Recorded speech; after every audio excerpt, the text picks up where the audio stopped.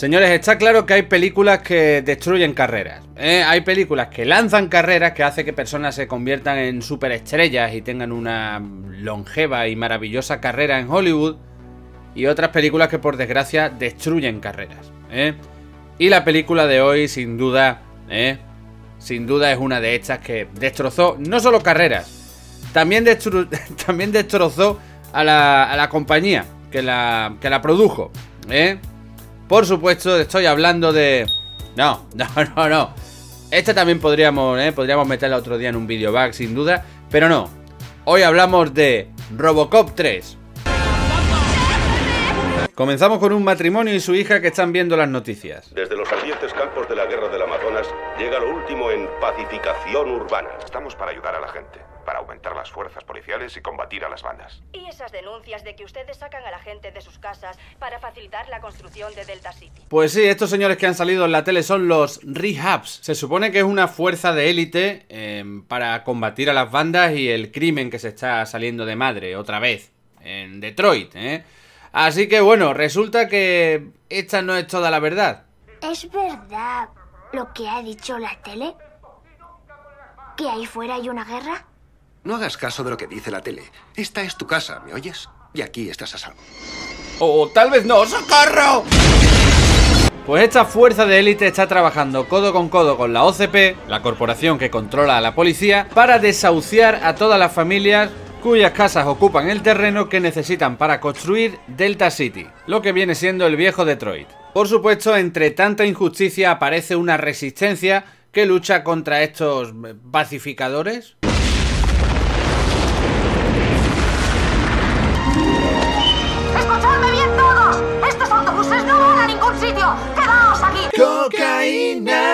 En el caos, la pequeña, que se llama Nico, es separada de sus padres y la resistencia decide cuidar de ella. Bueno, cuidar de ella. Se la llevan a un atraco de un depósito de la policía.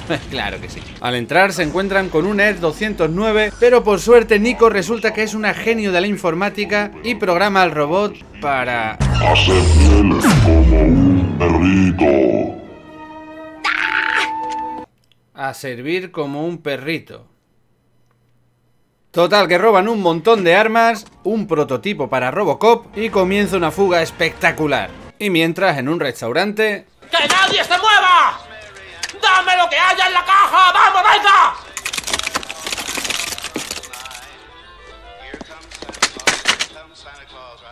Humor. ¿Qué se siente al ser tan inteligente? Como ya habréis notado a estas alturas, la película prescinde completamente del tono oscuro, violento y satírico de las dos entregas anteriores para hacer una película mucho más family friendly, eh, muy infantil, con humor así para niños. ¿Por qué? Porque en aquella época Robocop, eh, su mayor público, pues eran niños, por la serie de animación, juguetes, y eso es lo que intentaron con esta película, llegar a un gran público. Y por fin aparece un personaje de las entregas anteriores, la maravillosa Luis, que casualmente ve a la furgoneta de la persecución. Luis y otros coches patrulla acaban teniendo un accidente tremendo y la resistencia parece que va a escapar. ¿Seguro? Ese tío que nos sigue ahora me pone nervioso. No creo que sea exactamente un tío moreno. ¿Crees que es él? Pues resulta que Luis y los compañeros están en la zona de los revientacalles, una especie de banda lamentable que van por ahí, no sé, reventando calles. Baje los humos. Mi hermano es policía. ¡Suelta la corbata, joder!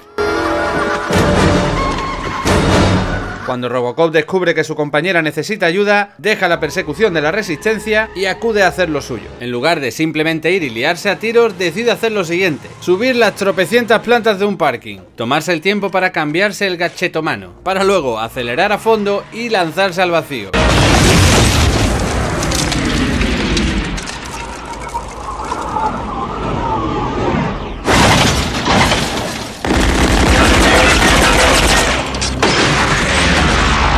¿Se le había roto la puerta? Voy a necesitar un techo solar. Joder, macho, tenéis que admitir que la primera aparición de Robocop es la polla. ¿Has pedido refuerzos? ¿Ya se han ido? Sigo detectando a tres.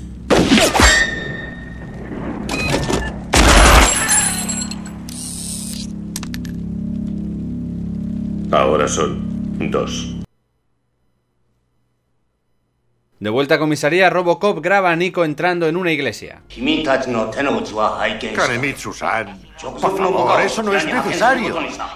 Pues resulta que una corporación japonesa ha absorbido a la OCP y empieza a presionar para que aceleren los desahucios para la construcción de Delta City. Y aquí vemos la primera aparición de Robocop sin casco. Como podéis ver el maquillaje sigue siendo buenísimo, pero también podemos notar que no es el mismo actor. Total, como Robocop ha dejado escapar a los de la Resistencia, un ejecutivo de la OCP llega y ordena que le borren la memoria. Pero por suerte la doctora Lázaro se pasa la orden por los cojos. Robocop va con Luis a la iglesia donde vio a Nico y justo en ese momento llegan las fuerzas de pacificación. Somos agentes de policía. No les buscamos a ustedes. Tenemos razones para creer que hay ocupas en ese edificio. Apártense de esa puerta. Ahí dentro hay civiles, solo tratan de guarecerse del frío. Así que Robocop, siguiendo sus directrices, decide proteger a los inocentes.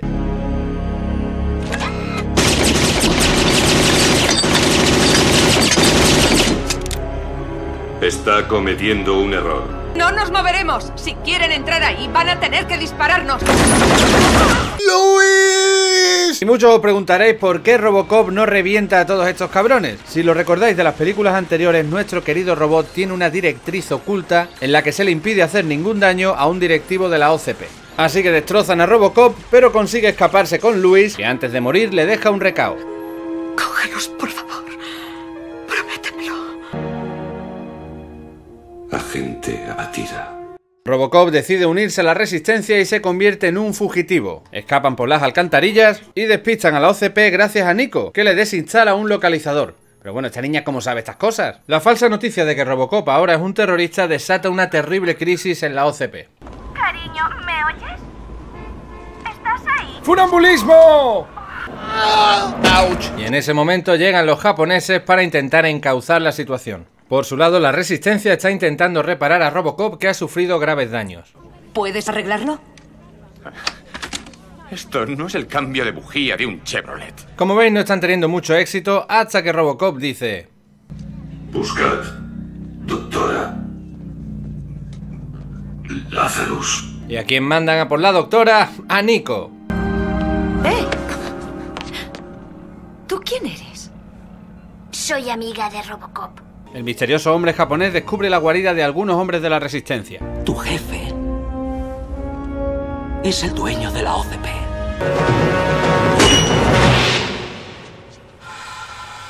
¡Cocaína! A ver, yo entiendo la decisión de hacer una película más family friendly y tal, pero entonces hay ciertas escenas que no tienen ninguna coherencia en este nuevo tono. Eh, los suicidios, eh, escenas como esta causarían pesadillas a los niños durante una temporada. ¿eh? Mm, creo que la cosa es lo que viene siendo el, tono eh, no estaba muy claro. Hombre, el animatronic no está mal, pero también hay que decir que no se parece en nada al actor, ¿verdad? Pues sí, por si no os habíais dado cuenta, también es un cyborg. Por suerte para el cibor, el imbécil este tenía guardado en el bolsillo la ubicación exacta y detallada del escondite de los rebeldes. Por fin la doctora Lazarus llega al escondite de la resistencia y repara a Robocop. Y de paso eliminan la puñetera Directriz 4. Borrado. Así que Robocop va a comisaría y la lía. Oye, ¿tienes fuego? Sí, claro. Permíteme, cerdo.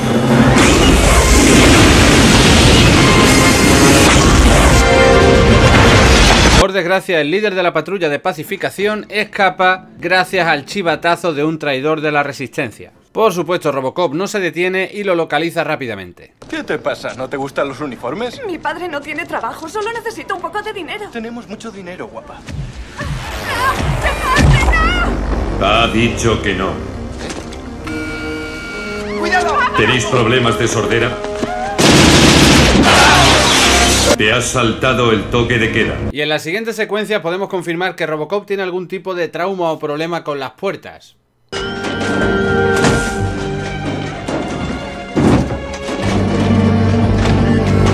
Putas puertas.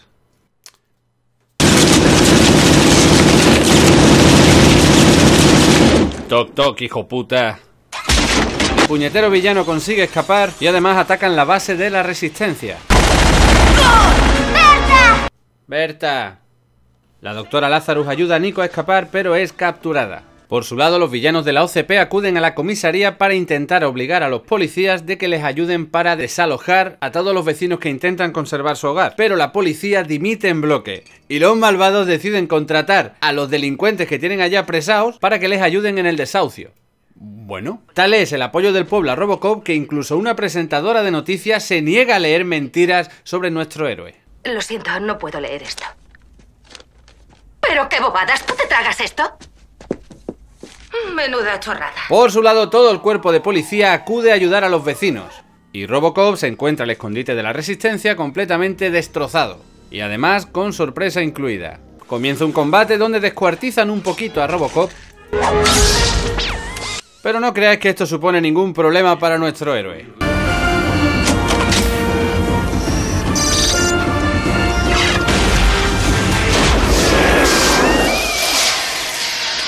Gravemente dañado, Robocop se arrastra cuando de pronto encuentra el prototipo del principio de la película. Y cuando la resistencia está a punto de palmar...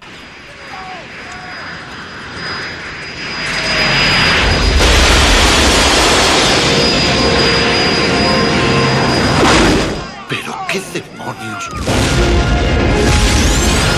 Sí, señores, Robocop empieza a volar todo por los aires y equilibra la batalla a favor de la resistencia. Y digáis lo que digáis, Robocop en jetpack es... ¡Beres! Y sin llegar ni a aterrizar, se va por el malo malísimo. ¿Puedo hacer algo por usted, agente? Ofrecer resistencia. Ni lo sueña, amigo. Cuando parece que todo va a terminar, aparecen más androides japoneses. Y atención a la cara que pone el actor para que se parezca a la prótesis. ¡Qué cosquillitas! Y aquí tenemos una tontísima escena donde Robocop pelea contra los dos androides y no le va nada bien. Bueno, señores, no me digáis que no es maravilloso este señor con la prótesis en la cabeza, con esa cara de pillao. Pues nada, la buena de Nico hackea a los dos cyborgs para que se corten la cabeza mutuamente. ¿Saben lo que acaban de hacer? Estos androides están programados con un dispositivo térmico antifallo. Entonces se autodestruirán. ¿Y entonces por qué el de antes no se autodestruyó? Bueno, sería de otra remesa. Dentro de 15 segundos todo quedará pulverizado en un área de 20 metros a la redonda. Ni lo sueñe, amigo. Así que Robocop le achicharra las piernas al malo con el reactor de su jetpack, coge a Nico y a la doctora Lazarus y salen pitando de ahí. Y digo yo, ¿no había nadie más en el edificio? que le den por culo. Pues ahora que todo ha terminado, incluso el presidente de la corporación japonesa va a presentar sus respetos a Robocop y el presidente de la OCP le hace una pregunta. ¿Cómo se llama? Murphy, ¿verdad? Eh, Mis amigos me llaman Murphy. Usted llámeme Robocop. Pues sí, señores, y así termina Robocop 3 con esta música increíble. Ya solo la música le sube a la película como 4 puntos, ¿verdad? O sea, vaya, vaya musicón de Basil Poledouris ma- maravilloso, que por cierto, la segunda parte no estaba, no estaba. Y aquí en la tercera parte vuelvo otra vez este pedazo de musicón. O sea, es que me quedo sin palabras. Robocop 3, ¿qué podemos decir? Un auténtico fracaso en taquilla, fue un fracasazo. ¿eh? Ni siquiera llegó a, recuperar lo invertido. Por otra parte, la crítica la destrozó, la, pero sin piedad, fue increíble. Podéis mirar hoy día por internet eh, Rotten Tomatoes y demás para ver el- la clase de descuartizamiento a la que fue sometida esta película. Y sí, señores, tengo que decir que no es una buena película, no es una película eh, sólida ni nada. De hecho, el principal fallo es el guion. Tenemos un guion bastante, bastante frágil, bastante cutre, ¿eh? y, y joder, y sobre todo este problema con el tono. Es- Está claro que hay alguno quería hacer una película de, corte adulto, otro la quería hacer más infantil, imagino que disputas creativas entre guionistas, director y productora, y al final salió un pastiche que, joder, cayó fatal en los fans de esta saga. A mí no. a mí me gusta esta película, señores. La veo hoy y me sigue, me sigue divirtiendo. Evidentemente tiene momentos que no funcionan, que no están bien, pero joder, el trabajo de cámara de esta película es muy bueno, la dirección me parece fantástica.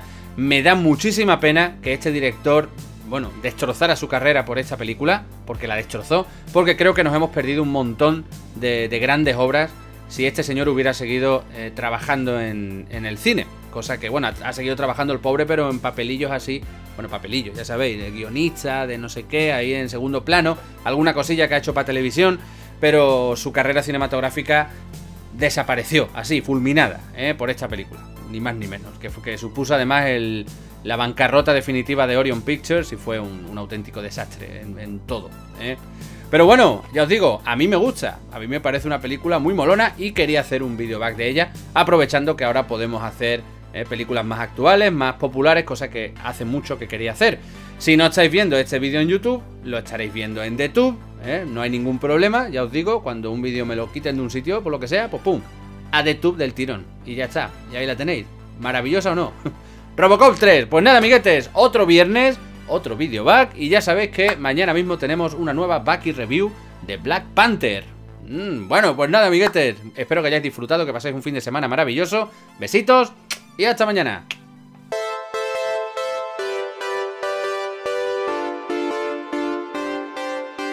Hay películas que lanzan carreras que hacen que, personas... Y esta película fue un auténtico facras Robocop 3. ¿Quién soy? ¿Quién soy? Robocop 3, un auténtico fracaso. Robocop 3, un auténtico fracaso en crit. Y este director nos podría haber traído grandes... Ah. Bueno, y este señor es...